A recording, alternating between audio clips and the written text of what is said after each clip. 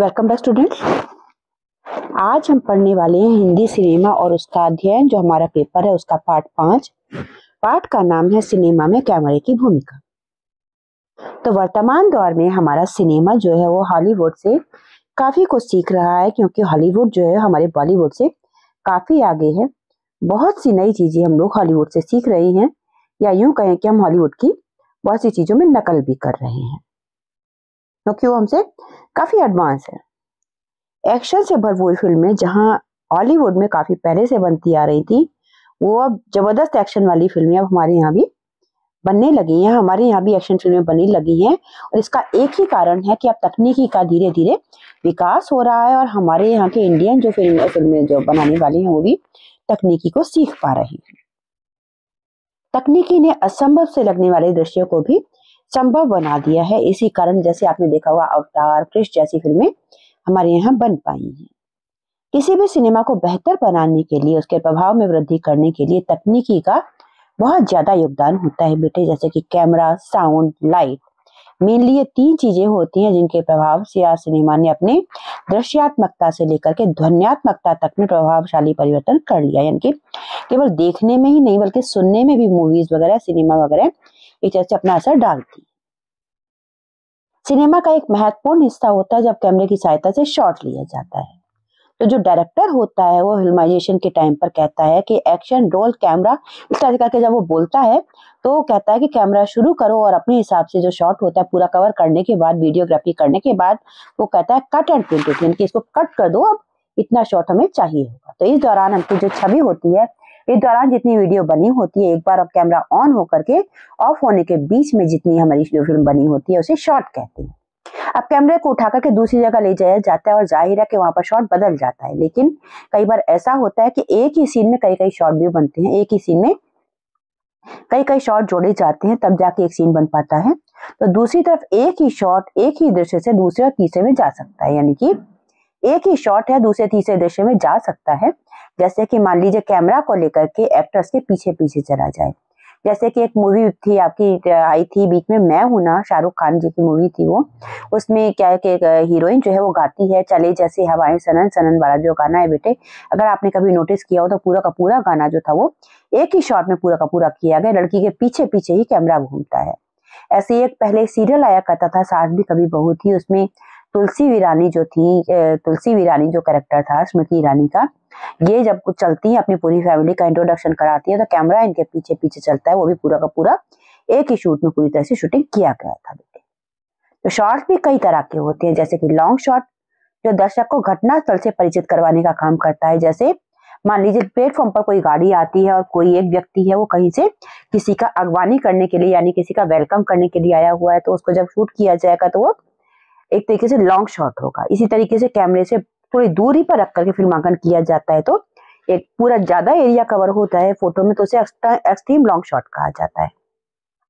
बर्फ़ से ढकी हुई पहाड़ियों को या समुद्र में कहीं सूरज डूब रहा है या कोई जहाज़ अकेला जा रहा है, उसको अगर हमने कवर करना है तो हम लोग एक्सट्रीम लॉन्ग शॉट लेते हैं, जिसमें पूरा का पूरा वो एरिया कवर हो जाता है, पूरा का पूरा सीन हमारी फ़ोटो में आ जाता है। जब कैमरे के सामने किसी वस्तु या पात्र को इतना ज़्यादा पास रख दिया जाता है कि पर्दे पर केवल वही दिखाई देता है तो इसे फ्लो शॉट कहते हैं। और अगर हम किसी और की कही बात पर सुनने वाले के एक्सप्रेशंस को रिकॉर्ड करना चाहते हैं तो उसे क्लोज शॉट लेते हैं और इसे रिएक्शन शॉट कहा जाता है। फ़िल्मों में आजकल अलग भाषा की फ़िल्मों को किसी अलग भाषा में डब करने का काम भी काफ़ी तेज़ी से हो रहा है। मतलब जैसे हिंदी में बनी हुई फ़िल्में और भाषाओं में कन्वर्ट की जा रही हैं और भाषाओं की जो फ़िल्में हैं, उनको हिंदी में लाया जा रहा है। तो इसे डबिंग कहती हैं, यानी कि किसी एक भाषा में बनी हुई फ़िल्म को दोबारा शूटिंग किए बगैर ही किसी और भाषा में बना देना, उसकी भाषा को बदल देना डबिंग कहलाता है। अब सिनेमा का तकनीकी पक्ष के बारे में थोड़ा सा हम लोग जान लेते हैं बेटे। सिनेमाटोग्राफर यानी कि कैमरामैन कैमरामैन और कैमरा के बिना फ़िल्म बन ही नहीं सकती है बेटा। वो सारे के सारे काम जो कि कैमरे की तकनीकी से होते हैं, जैसे कि camera stand, film speed, lens चुनाव, फ्रेम कंपोजिशन, कैमरा कौन वगैरह, ये सारे के सारे काम स्किल हैं, टेक्निक्स हैं जो कि किसी भी कैमरामैन को, जो कि फ़िल्म बनाने में मदद कर रहा है किसी डायरेक्टर की, उसको आने चाहिए। इसके अलावा, अच्छे फिल्मांकन के लिए एक अच्छे और कुशल कैमरामैन की ज़रूरत पड़ती है, जो कि होना चाहिए। किसी भी प्रोड्यूसर, डायरेक्टर के पास और साथ ही कैमरामैन को ये भी पता होना चाहिए कि उसका डायरेक्टर उससे क्या चाहता है। तो निर्देशक कैमरामैन और कलाकारों के बीच में आपसी अच्छी आप, आपसी समझ की ज़रूरत होती है। इसी वजह से बेटा प्रोड्यूसर डायरेक्टर्स होते हैं और जल्दी से अपने कैमरामैन चेंज नहीं करते हैं।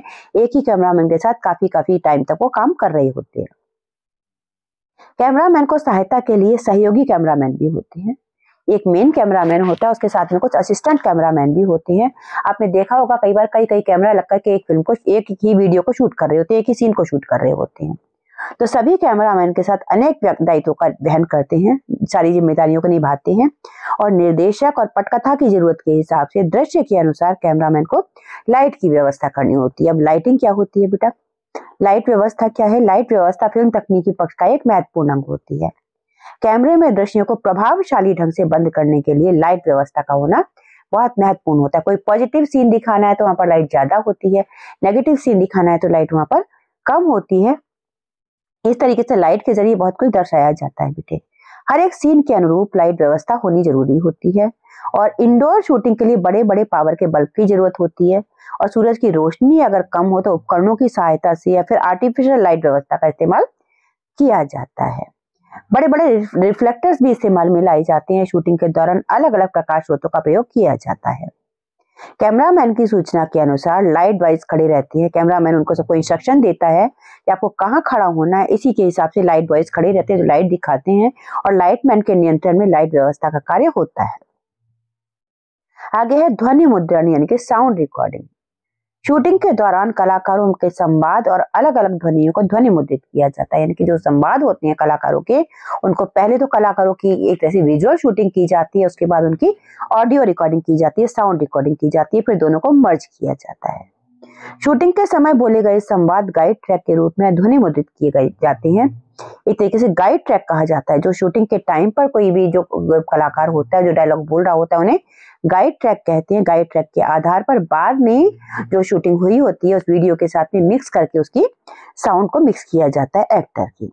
इसके बाद उसी टेप्स का टेप का डबिंग करके जो बात हुई है, जो डायलॉग्स बोले गए हैं, उन्हीं की डबिंग करके संबंधित कलाकारों से रिकॉर्डिंग स्टूडियो में उनके होटो की हलचल के साथ मैच करके ध्वनि मुद्रित किए जाते हैं। उनको फिर ध्वनि मुद्रित किया जाता है उनके साथ में और यही संवाद का साउंड ट्रैक अंतिम प्रिंट में आता है। जो लास्ट प्रिंट आता है फाइनल प्रिंट जो आता है, वो यही आता है साउंड ट्रैक का, जो रिकॉर्डिंग होकर के दोनों चीज़ों को मिक्सिंग की जाती है। आगे अब बात आती है डबिंग की तो संपादन की अंतिम रूपरेखा के अनुसार साउंड रिकॉर्डिंग स्टूडियो में हर एक कलाकार से उनके संवाद कहलवाए जाते हैं। सारे के सारे संवाद जो होते हैं, वो स्टूडियो में आकर के सारे के सारे कैरेक्टर्स बोलते हैं और इस तरीके से उनको जो है रिकॉर्ड किया जाता है, इस प्रक्रिया को डबिंग कहते हैं। शूटिंग के समय रिकॉर्ड किए गए संवाद फ़िल्म में नहीं रखे जाते हैं, बल्कि उन्हें गाइड ट्रैक की तरह रखा जाता है। गाइड ट्रैक को सुन करके ओरिजिनल जो चाहिए होते हैं फंडामेंटल जो इसके लिए बेसिक चाहिए होते हैं डायलॉग वो सारे रिकॉर्ड किए जाते हैं और बाद में प्रत्येक दृश्य को पर्दे पर डालकर एक एक दृश्य के अनुसार कलाकारों से संवाद शूटिंग के समय संवाद बोलने में अगर कहीं कोई कमी रह गई हो तो उच्चारण में अगर कहीं कोई कमी हो तो डबिंग के समय उसे सुधारने की गुंजाइश बनी रहती है। सुधार भी लिया जाता है बेटा। इसके बाद है साउंड इफ़ेक्ट डबिंग के बाद साउंड इफ़ेक्ट का काम होता है बेटा। संवाद के अलावा फ़िल्म की अनेक आवाज़ें होती हैं, जैसे जूते पहनकर चलने की आवाज़, बारिश की आवाज़, कोट पहनने की आवाज़ पशु पक्षियों की आवाज़ें इन सब की आवश्यकता होती है, इन सबको स्पेशल साउंड इफ़ेक्ट कहा जाता है बेटे। और निर्देशक की आवश्यकता अनुसार निर्देशक को जैसी ज़रूरत होती है, उसी के हिसाब से वो टेबल बनाते हैं कौन सी आवाज़ कहाँ पर लगेगी कहाँ पर फिट होगी, उसके हिसाब से वो बनाते हैं और फिर अपने जो शब्द यंत्र के साथ में वो विचार विमर्श करके रिकॉर्ड करने की व्यवस्था करते हैं। असल में वो साउंड इफ़ेक्ट को जो है वो विशेष स्पेशल इफ़ेक्ट डालने के लिए यूज़ करते हैं बेटा। तो ये था आपका चैप्टर नंबर फाइव जिसका नाम था सिनेमा में कैमरा का महत्व या फिर सिनेमा में कैमरे की भूमिका। इसके बाद आपका बेटा एक पार्ट और रह गया है, उसको भी मैं करवा दूँगी आपके को। और आपका टोटल हिंदी सिनेमा का हिंदी सिनेमा और उसका अध्ययन वाला जो पेपर है कंप्लीट हो जाएगा। तो पूरा का पूरा सिलेबस आपका पूरी प्लेलिस्ट मैंने बना दी है, आप लोग देख सकते हैं। पेपर में आपके अभी टाइम है, उससे पहले आप लोग इसको अच्छी तरह से देख लीजिए। कहीं कुछ डाउट है तो आप लोग कमेंट सेक्शन में पूछ लीजिए, आपको ज़रूर जवाब मिलेगा बेटे। बहुत सीरियसली बेटा पढ़ाई कीजिए, क्योंकि परीक्षाएँ आपके बिल्कुल नज़दीक हैं। कुछ डाउट है तो कमेंट सेक्शन में आप अपना क्वेश्चन छोड़ दीजिए। और बेटा चैनल अगर अभी तक सब्सक्राइब नहीं किया है तो अब कर लीजिए क्योंकि आपका पूरा का पूरा कंटेंट आपको यही मिलेगा और आपके अगले सेमेस्टर का कंटेंट भी आपको इस चैनल पर मिल जाएगा टाइम से ही। तो परीक्षाओं के लिए आपके बेटा बहुत बहुत शुभकामनाएँ। Have a great day ahead जय हिंद, जय भारत।